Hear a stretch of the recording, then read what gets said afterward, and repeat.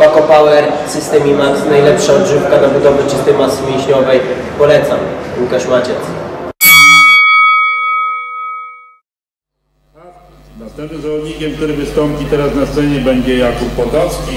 No, o je, jego najwspanialsze sukcesy w przyszłym wieku weterana został absolutnym mistrzem Europy weteranów, czyli wygrał nie tylko swoją kategorię, ale również kategorię Open z mistrzami z, z pozostałych kategorii na Mistrzostwach Europy. Był kiedyś w grupie seniorów wicemistrzem Europy, również finalistą Mistrzostw Świata.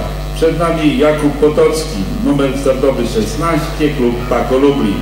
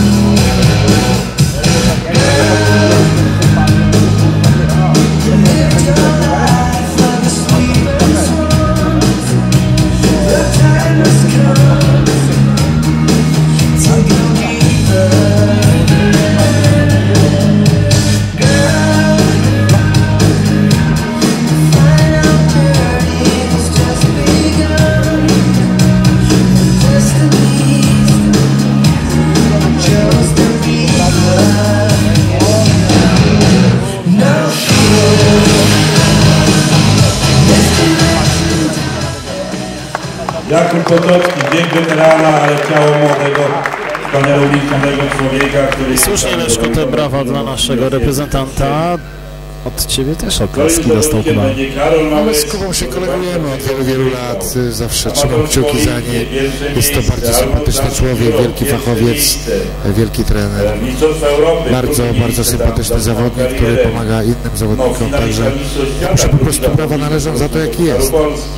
Po zawodach Pucharu Polski w kulturystyce, które odbywały się w Kielcach, rozmawiamy z naszym znakomitym zawodnikiem Kubą Potocki. Kuba, przyjmij gratulacje. Trzecie miejsce, brąz. Zabierasz y, do domu, kulturystyka ekstremalna. Naprawdę walka była niesamowita. Jestem bardzo zadowolony, dziękuję. Nie spodziewam się tego sukcesu. Bardzo Byłeś taki skromny, no formę miałeś świetną na Facebooku, wszyscy znajomi y, pisali. Kuba, nigdy nie widzieliśmy Cię w takiej formie. Zgadza się też, też, inni też nie próżnują, więc każdy ćwiczy, ostro.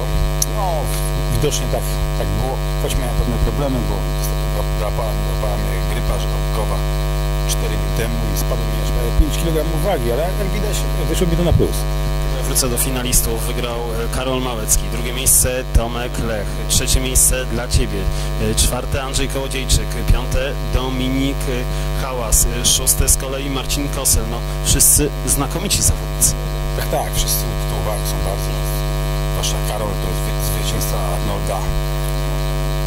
Andrzej Kołodziejczyk tak samo był mi- wicemistrzem świata, to jest bardzo duże osiągnięcie. No i inni zawodnicy tak samo są ut- utytułowani, bo są finaliści mistrzostw świata, finaliści mistrzostw Europy i innych takich większych zawodów. Cieszysz się z tego trzeciego miejsca, ale liczyłeś może może drugie po cichu. Ja tak typowałem, jak rozmawiałem z Leszkiem Michalskim. On nie miał wątpliwości, Karol Małecki, że on, on wygra. Od samego początku twierdził, że, że to jest jego, jego faworytem. Mówię, ale drugie miejsce będzie dla Kuby. No, ja też typowałem, że Karol wygra.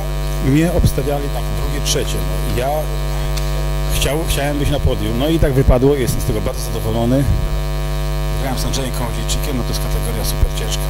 To jest 20 kg chłop, ja tylko 90, ale formę miałem dobrą i sędziowie, więc No to twój taki medalowy weekend y, wczoraj w Grand Prix Pepa w Opawie. Zdobyłeś srebrny medal i medal brązowy. Dzisiaj brąz. tak, wczoraj byłem, byłem drugi za, za Gałazińskim w kulturystyce weteranów, no i byłem trzeci w kategorii 90 kg. No, trochę, trochę był to niedosyt dla mnie, ale, ale może ta forma wczoraj jeszcze nie była taka dobra, jak, jak mówiłem wcześniej, byłem chory bardzo ostre ładowanie sodem, że tak, żeby tu mięśnie po prostu przytrzymały, by uciekała wa- waga dosyć ostro po tej, po tej grypie. I jednak mi to wyszło na dobrze, bo piłem dużo węglowodanów, sodu, jeszcze miałem trochę wody na sobie. Dzisiaj tej wody już nie było praktycznie. Mało tu się pociłem, choć jeszcze nie byłem zadowolony z tej formy, bo miałem kiedyś lepszą, ale trzeba iść do przodu. Mówisz o Mariuszu Bałazińskim, on wczoraj wygrał z Tobą, dzisiaj także wygrał z reprezentantem e, naszego klubu, Tomkiem Kornalewskim. No, niewielką różnicą wygrał, bo, bo Tomek był naprawdę w znakomitej formie, a przypomnę internautom PKP, Tomek e, przed rokiem wygrał Puchar Polski. Dzisiaj, no niestety okazał się troszeczkę gorszy od Mariusza, podobnie jak Ty wczoraj. Zgadza się, no, to tu, tutaj czasem decyduje forma dnia, więc jednego dnia można wygrać. Wczoraj Tomek wygrał, wygrał w Opawie, Mariusz startował wczoraj w turystyce Jeszcze miał, jeszcze miał nadwagę, no dzisiaj też zbił te parę kilogramów i wyszedł tutaj. No miał, wczoraj wyglądał już bardzo, bardzo dobrze widziałem go w takiej formie, powiem szczerze, no zasłużenie też się wygrał. Ale, ale, ale to wszystko jest, wszystko jest, może się zamienić, z dnia na dzień może się wszystko zmienić, bo to są czasem forma dnia decyduje. Mówisz, że nie jesteś do końca zadowolony dzisiaj z tej formy, ale na następne zawody ta forma będzie na pewno już y, jeszcze lepsza. Kiedy te zawody? I czego od siebie będziesz oczekiwał? Właśnie przed chwilą się dowiedziałem, że Mistrzostwa Świata Weteranów, które, są, które mają być w Ulaanbaatar w Mongolii, są przeniesione za dwa tygodnie, a miały być 15 grudnia. Więc to mnie to zaskoczyło, bo się czekałem na ten grudzień. Więc, czy ja tam pojadę? No to to zależy od finansów, bo tam jest bardzo duży koszt wyjazdu, tam podobno 5,5 tysiąca do 8 tysięcy jest koszt samego kosztu przelotu. No i jeszcze jest 200 euro wpisowego, więc to są, jest duża kwota.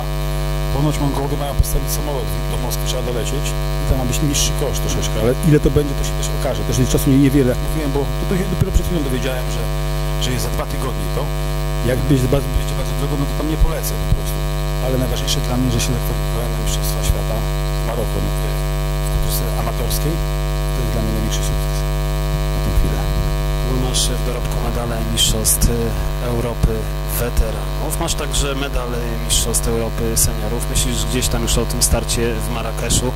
Może tak się przygotuje, że uda się stanąć na podium Mistrzostw Świata? Przyszykuję się jak najlepiej, będę mówił, że jak żadnej przeciwności losu, to na pewno będę, miał, będę się starał, starał za, za jak najlepszą formę, ale mówię, no to są Mistrzostwa Świata, to się rządzą innymi prawami, tam trzeba być, być naprawdę w wysokiej formie, nie można tego porównywać absolutnie do Europy, bo to są w ogóle zawody, to tak jak moje Mistrzostwa Polski, Mistrzostwa Europy, a tam jest jeszcze gorzej, jeszcze jest trudniej zdobyć medal, czy, czy wejść do finału niż, niż, niż jak mówię, z Polski na Europę. Tylko, że Polski startowała także Twoja podopieczna, Anetka Michalak. No nie udało jej się awansować do finału. No i udało się, też była bardzo wysoka konkurencja tutaj, ale to ma dopiero od startów. Musi troszeczkę jeszcze poćwiczyć pozowanie, troszeczkę może formę poprawić, choć tutaj układ było według mnie nie najgorzej. No, troszkę namawiał na, na kulturystykę albo na, to fizyk, to się nazywa, nowa kategoria. Dzisiaj miała być, ale nie było, bo chyba nie było chętnych, ale też bardzo ciekawa, ciekawa taka opcja dla kobiet o bardziej sportowej sylwetce. Jeszcze raz przyjmij gratulacje i wierzymy, że ta seria medalowa jesienna zostanie podtrzymana już w kolejnych zawodach. Y, Może uda się polecieć do Ulaanbaatar, polecieć na Mistrzostwa Świata Weteranów i, i życzę Ci, żebyś tam wziął udział w tych zawodach, no i oczywiście przywiózł medal. Najlepiej niekoniecznie brąz czy srebro, tak jak y, wczoraj, tylko złoto.